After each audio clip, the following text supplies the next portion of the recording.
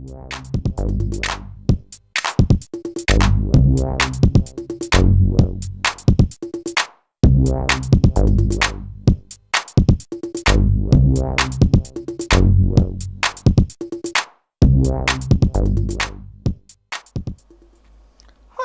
everyone, this is Harry from Aires Communication. In this video, I'm going to show you how you can install WeChat to your Samsung Galaxy Note 2.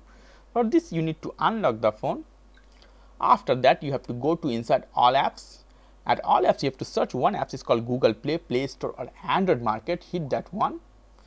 You can directly search that apps you want to install WeChat or you have so many category here. Click at top free at top free you have to slide and to search the particular apps is called WeChat. As you see here we have WeChat. Click this one. After clicking you will see one option is called install. Hit that one. Accept term and condition. It's downloading now.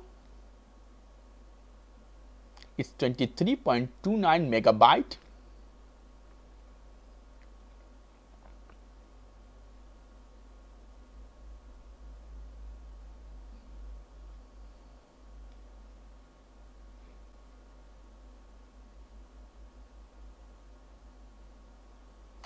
and it's done it's giving me two options. One is open another is uninstall. I will not open from here. I'll click menu button a home button. As you see we have wechat here and another place we should have wechat. Hit all apps.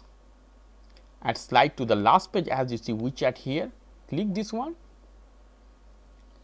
And it's opening. Click ok.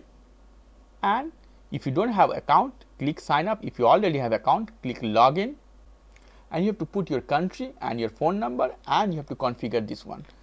This is all my friend. If you like this video please do subscribe. If you have any question leave me as a comment. I will try to answer you as much fast as possible. As always for more information go to the Aires Communication www.airescomunication.com have a nice evening. Ciao